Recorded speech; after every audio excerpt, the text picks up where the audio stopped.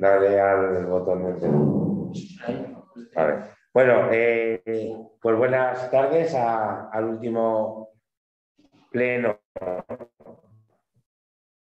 Eh, eh, pero al último pleno de este año 2021 con tantas y, tantas dificultades y, y bueno, lo vamos a terminar pues también de una manera un poco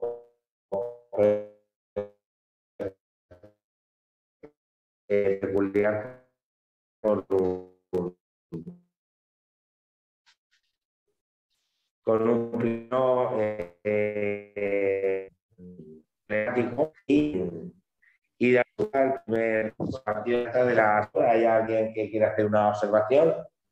Pues procedemos a su votación. ¿Votos a favor? Unanimidad.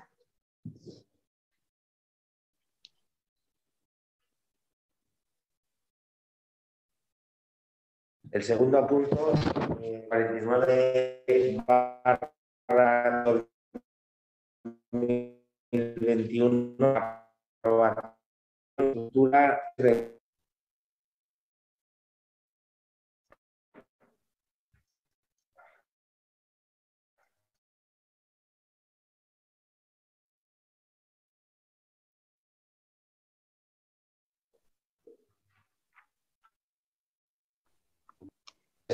con Luisa. ¿Me oís? que se me ha eh, colgado. Ya estoy. Ah, vale. Eh, si eh, procedes a, la lectura del dictamen. Sí. visto el informe propuesta de la estructura de costes del servicio de, de, abastecimiento de agua potable y saneamiento del municipio de Andorra, Teruel, redactado por la empresa AIMED Proyectos y Servicios SL, concesionaria de la redacción de los pliegos del Servicio de Agua Potable y Saneamiento de Andorra, Teruel, la Comisión Informativa de Contratación propone al Pleno la adopción del siguiente acuerdo. Primero, aprobar inicialmente la estructura de costes del Servicio de Abastecimiento de Agua Potable y Saneamiento del municipio de Andorra, que se adjunta como anexo 1, Segundo, someter al presente acuerdo a información pública en el Boletín Oficial de la provincia de Teruel en el plazo de 20 días hábiles desde el siguiente a la publicación del mismo, con el fin de que se presenten las alegaciones que se consideren al respecto, indicando que en caso de no efectuarse reclamaciones al mismo, se considerará aprobado definitivamente el presente acuerdo, sin necesidad de nuevo acuerdo de pleno. En caso contrario, estas serán resueltas por el Pleno adoptándose entonces el acuerdo de aprobación definitiva. Eh, vale, eh, Joaquín. Vale, pues em, nosotros eh, lo que es la corporación, la verdad que este tema lo hemos tratado muchas veces, pero sí que me, gustaría pues, contar un poquillo qué es la, estructura de, costes y de dónde viene para, que lo que es la, gente en general tenga, tenga una pequeña noción de lo que, de lo que, estamos, de lo que estamos haciendo. Eh, esto es derivada de, de, la, redacción del pliego para sacar a licitación el, servicio de, agua y saneamiento de la, localidad. Y, uno de los trámites es, una vez visto el, coste, bueno, un estudio de viabilidad de, lo que es el servicio y unas, unas tablas de costes que se le, se le requiere también a, a otras empresas para poder hacer una, media y una, y una, correlación para ver que no tenemos nada fuera del, del mercado, eh, pues es lo que, lo que, lo que traemos. Eh, a partir de la información suministrada por estos operadores y del estudio, eh, para una óptima gestión del servicio de abastecimiento de agua potable y saneamiento, se ha elaborado la propuesta de estructura de costes de la actividad. la estructura de costes está, está separada en, son en siete, siete, siete apartados. Uno es el de mantenimiento y conservación, la gestión administrativa y varios, la lectura, la lectura y facturación al cobro, el personal, el control analítico, la energía eléctrica, el tratamiento de, del agua con los reactivos y, demás y otros costes indirectos. Y luego las amortizaciones. Eh, más o menos estamos en la, en la media de, de, lo que tienen los operadores del sector si bien nuestro, nuestro servicio sí que tiene algunas particularidades, como son, por ejemplo, eh, la energía eléctrica, porque ya que el agua que, tiene Andorra, que viene toda suministrada de, pozos, de pozos y además es bastante producida, pues eh, el, coste de la energía es, elevado. Eh, el personal, pues era el que hay, es el que hay que subrogar y nada más. Y el mantenimiento de la conservación también, también supone un buen pellizco porque porque además es que hace falta en, lo que es la, red de, distribución pues, actuar. También hay una, parte que son amortizaciones, que esas amortizaciones vienen de, las mejoras eh, obligatorias que se, que se introducen en el nuevo pliego, porque había cosas que no, que no podíamos, eh, bueno, más que no podíamos es que no se podía dejar sin actuar porque no, no se garantizaba eh, el, suministro de agua ni la, ni la correcta eficiencia de ese, de ese suministro. Entonces, viendo más o menos cómo en el, dictamen y en, la, y, en el informe cómo, nos salía, nosotros proponemos esta estructura de costes para, para aprobarla en pleno y exponerla al público. Eh, gracias, Joaquín. Eh, Antonio. Nada, nosotros lo vemos adecuado, votaremos a favor. Andrés. Sí, lo vemos bien, votaremos a favor. Eh, Silvia. A favor. Esther. A favor. Eh, Raúl, David. Eh, bueno, eh, habiendo visto el, informe redactado por la consultoría y viendo las distintas propuestas de, las distintas empresas, vemos que está, estamos dentro de, mercado y, viendo que es un trámite que, que, hay que seguir, evidentemente votaremos a favor también. Joaquín, Perfecto. Eh, pues procedemos sin más a su votación. ¿Votos a favor? Unanimidad.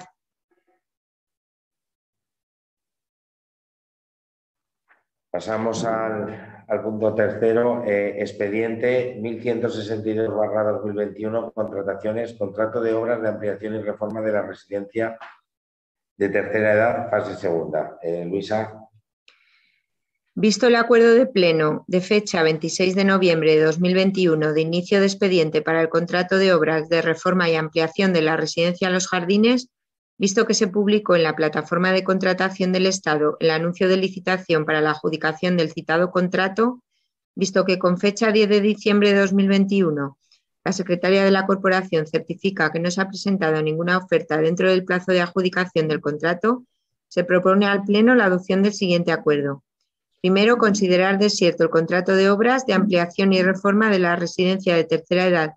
Fase 2, por falta de presentación de ofertas en el plazo establecido, de conformidad con la propuesta de la mesa de contratación, dando por finalizado y archivando el expediente 1162-2021.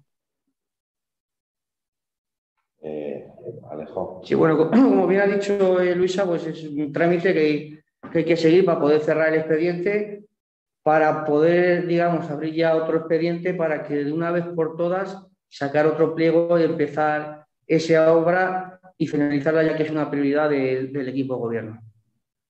Eh, Antonio. Votaremos a favor, creemos que es necesario. Eh, Andrés. Votaremos a favor. Silvia. A favor. Eh, Esther. A favor. Eh, Raúl, David.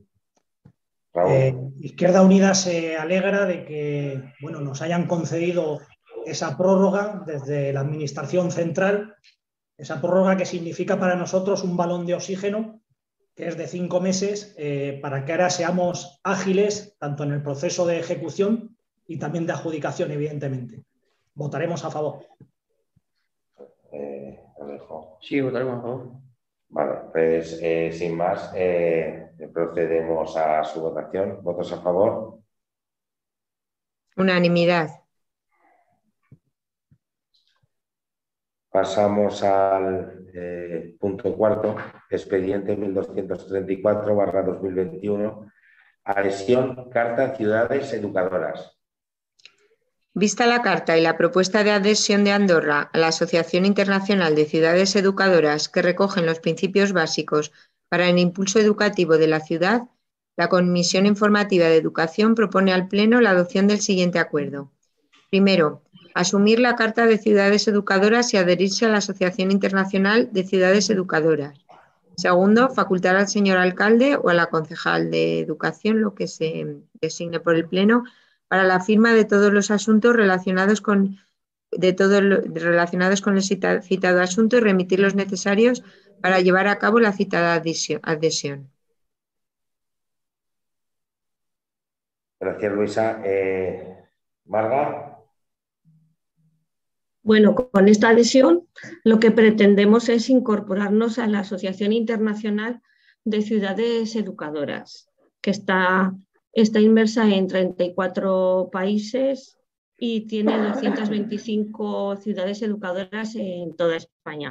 Es una asociación sin ánimo de lucro está creada desde 1994 y se constituye como una estructura de colaboración permanente. Quiere decir que siempre vamos a tenerlo asesorando al Ayuntamiento de Andorra y a todos sus técnicos en todos los objetivos en materia de educación que nosotros nos propongamos.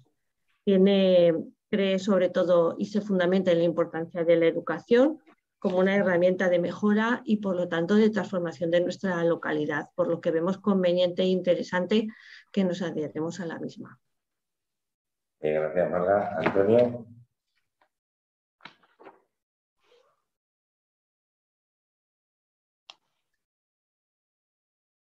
Estaremos a favor.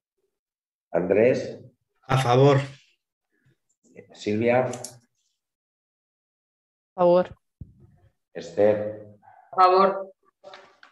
Eh, Raúl. Nos parece muy interesante y beneficiosa para nuestro municipio la propuesta y votaremos a favor. Eh, Marga, lógicamente. A favor. Pues eh, procedemos a, a votar el cuarto punto. ¿Votos a favor? Unanimidad.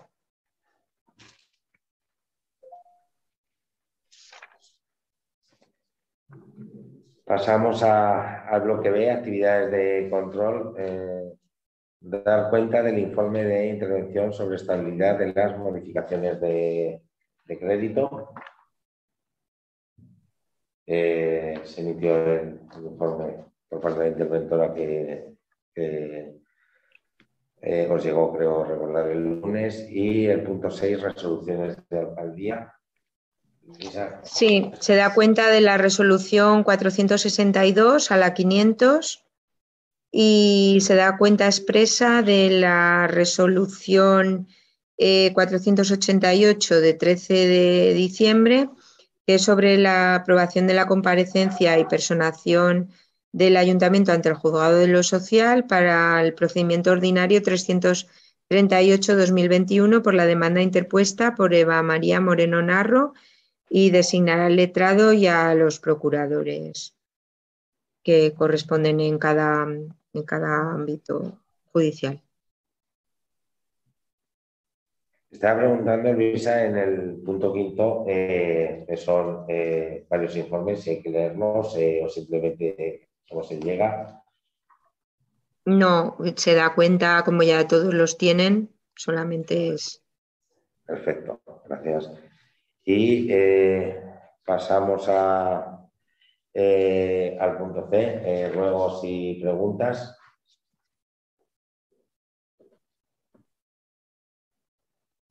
Hoy no es el Día de los Inocentes. yo pensaba que este suele ser un punto de los que hay más, más chicha. pues bueno, antes de, de concluir y y compartido por toda la, eh, corporación. Desear a todas las vecinas, vecinos y trabajadores del ayuntamiento que, eh, que pasen una buena despedida eh, de este año 2021 y una mejor entrada para, para el año 2022. Sabemos la situación en la que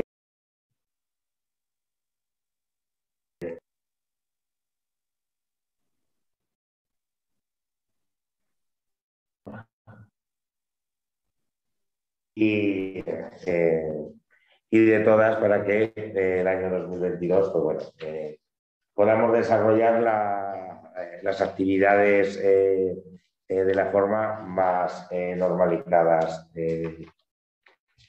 posibles. Y, y sin más, eh, agradeceros eh, a, todos. Pues bueno, la, tónica que por lo general eh, y un año más se ha mantenido en, en cualquier, en cualquier debate político. Muchas gracias y a pasar buenos días. Igualmente.